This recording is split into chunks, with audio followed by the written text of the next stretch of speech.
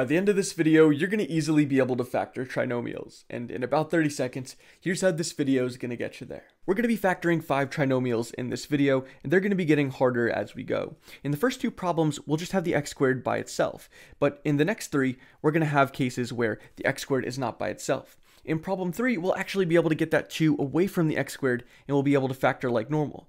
But in problems 4 and 5, we won't be so lucky and we'll have to factor by grouping. And after we go through all that, I'll give you a problem to try and answer in the comments, and by that point, it should honestly be breezy.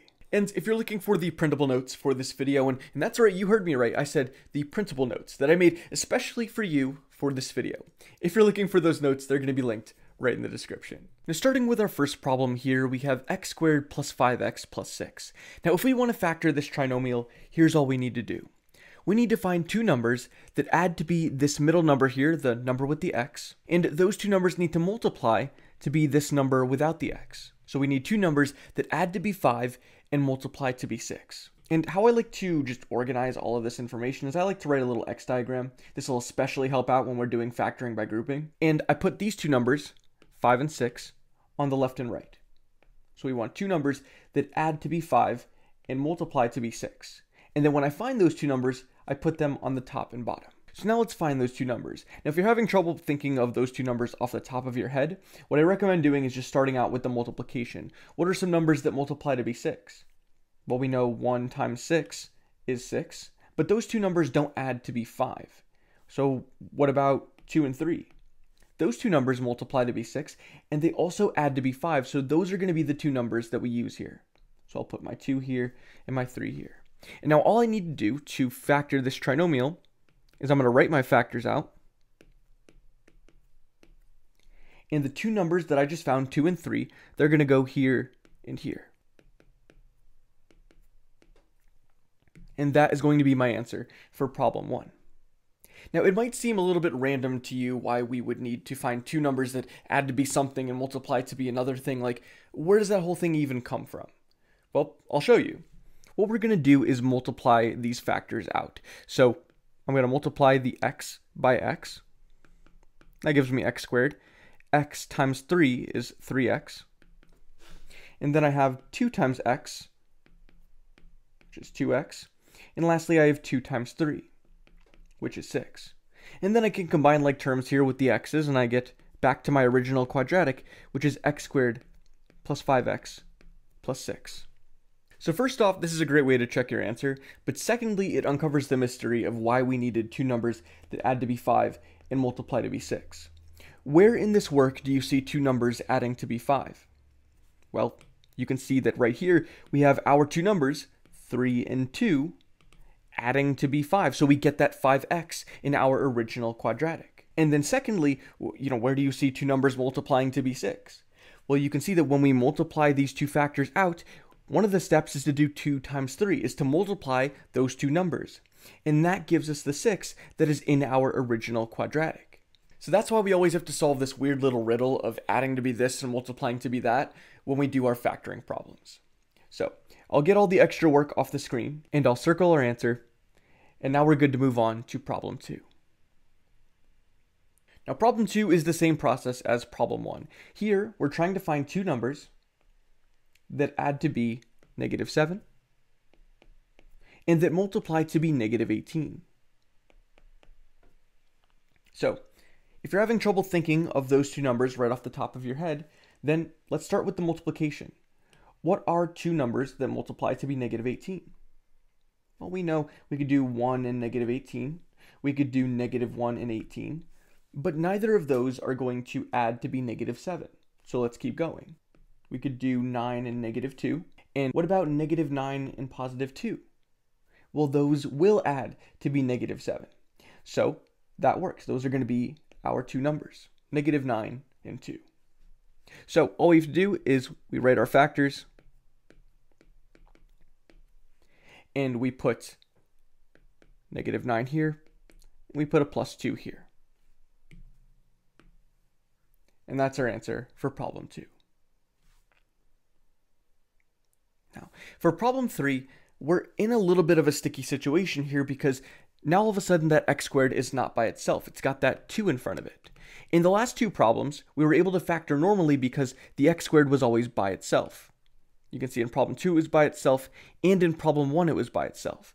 Problem 3 is a little bit different because it has that 2 there. So the first question that we want to ask when we see a number on the x squared is can we get that number away from the x squared?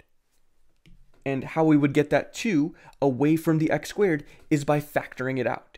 So can we factor a 2 out? Well, we'll be able to factor 2 out if all of these terms are divisible by 2. And in this case, all of these terms are divisible by 2. They can be divided by 2 evenly. And that means that we'll evenly be able to factor out a 2 here. So, we'll factor that 2 out, and that means that we need to divide each of these terms by 2. Now, 2x squared divided by 2, that's x squared. Negative 14x divided by 2 is a negative 7x and then 20 divided by 2 is a positive 10. And so now we've managed to get that 2 away from the x squared. Here you see we have a quadratic where the x squared is by itself. And that means we can factor just like we did in problems 1 and 2. So let's set up our little x chart here. And we need two numbers that add to be negative 7 and multiply to be 10. So what are those two numbers? Well, what are some numbers that multiply to be 10? We know that 5 and 2 multiply to be 10, but those don't add to give us a negative number. So let's try some other numbers. Let's try to see if we can throw in some negatives here. Well, I know that negative 5 and negative 2 also multiply to be 10, and these two numbers add to be negative 7. So those are going to be the two numbers that I use here. So what we're going to do is set up our factors now. And we just put the numbers that we found in these two spaces. So we're going to put negative 5 here, negative 2 here. Of course, it doesn't matter if you put the negative 2 here and the negative 5 here. You can switch them however you like. So that's the answer for problem 3. All right, now let's move on to problem 4. And again, we have a case where there is a number on the x squared. The x squared is not by itself. And so the first question that we're going to ask is can we get that 2 away from the x squared? And we can do that if we can factor out a 2 evenly, but here we're not going to be able to do that, can we? Because 17 is not divisible by 2 and 21 is not divisible by 2. So that whole idea of getting the 2 away from the x squared is not going to happen here. And so what we're going to have to do is factor by grouping. So how do we factor by grouping?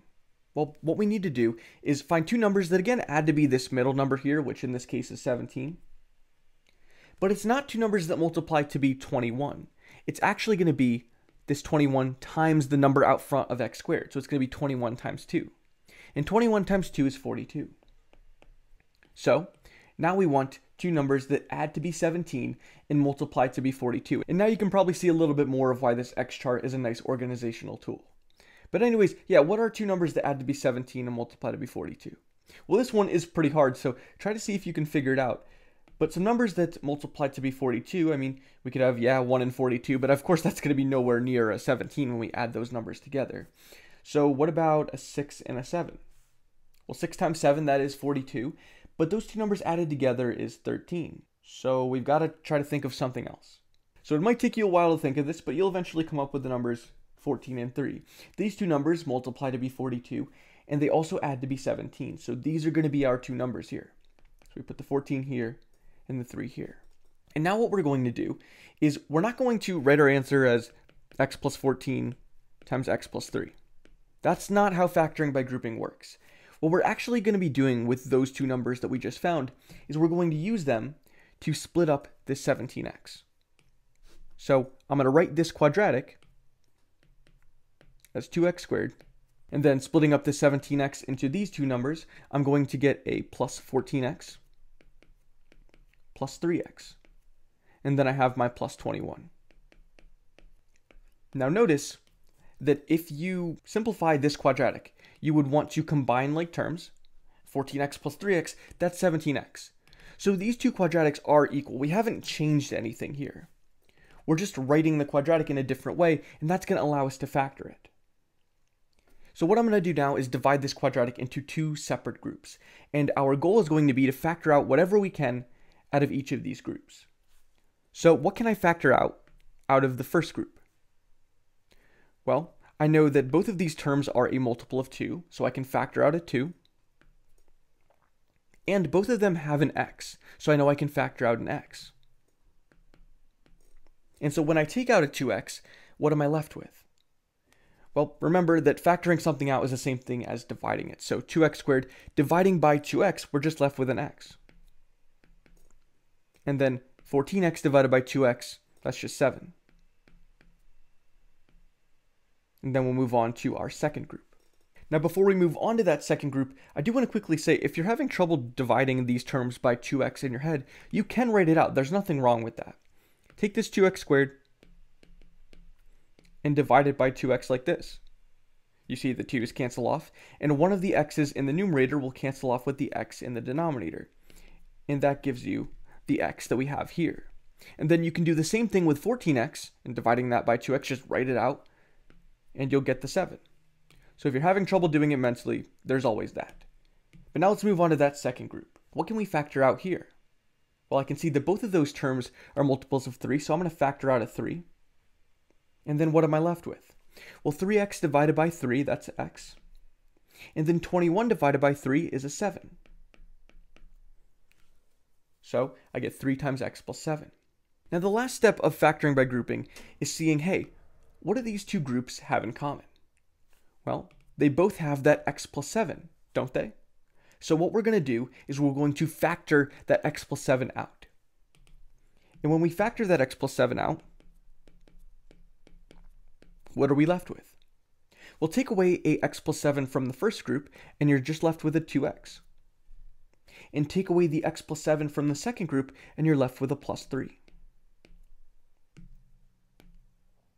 So what we get is x plus 7 times 2x plus 3, and those are our factors.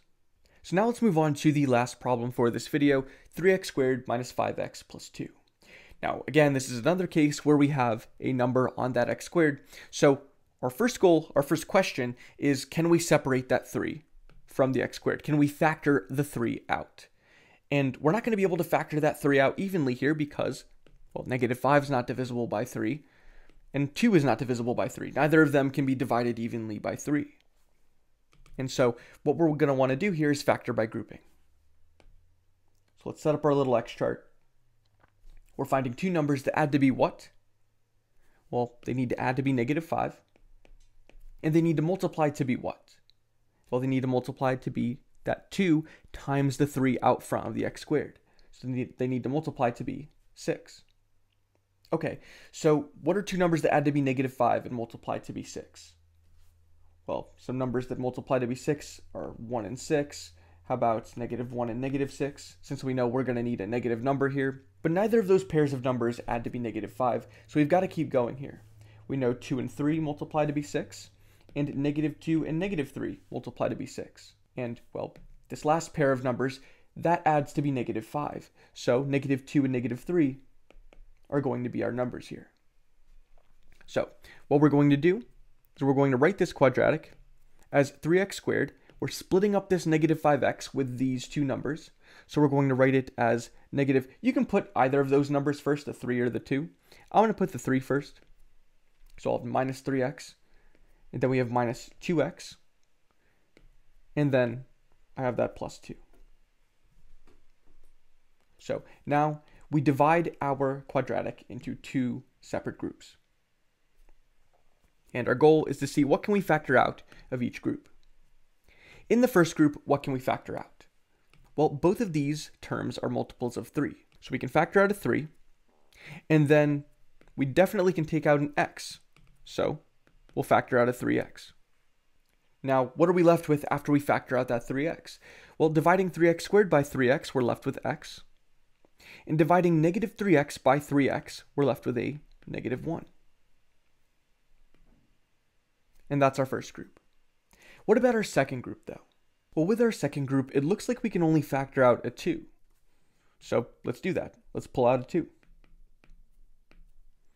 If we factor out a 2, then from negative 2x, we're only left with a negative x, right? Negative 2x divided by 2 is negative x.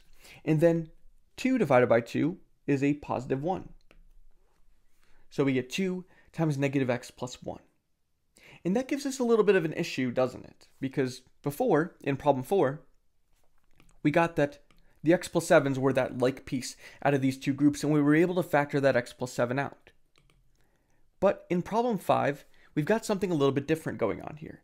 We've got that x minus 1, but over here we don't have an x minus 1. We have a negative x plus 1. And you can see that's kind of the opposite of x minus 1. The negative is just on the wrong term, right? It should be on the 1, not the x. And so what we can do to fix that negative issue is instead of factoring out a 2, what we're going to do is we're going to factor out a negative 2. And you'll see that ends up fixing our issue completely. Negative 2x divided by negative 2 is a positive x.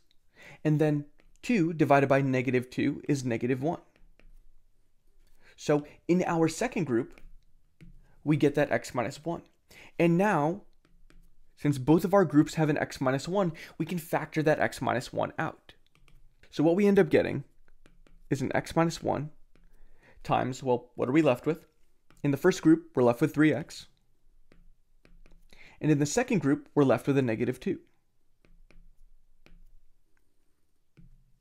And so that is our answer for problem 5. So that is factoring trinomials in a nutshell, and if you're feeling pretty comfortable with this, then here's a problem for you to try and answer in the comments. Here we have 10x squared plus 89x minus 9. So give that problem a shot. Let me know what your answer is in the comments. And if you have any questions on anything we talked about in this video, again, let me know in the comments and I'll try to get back to you as soon as I can. Now remember, I do have that extra video in the description where you and I will go through and factor 10 more of these quadratics. We'll be doing binomials, trinomials, we'll also be doing factoring by grouping a bunch. So if you're looking for that extra practice, I have that extra video linked right in the description. Lastly, make sure that you're subscribed to the YouTube channel. We're getting closer and closer to 100k by the day, and it sounds like crazy to think about. But anyways, that's going to do for this video, and I'll see you guys soon.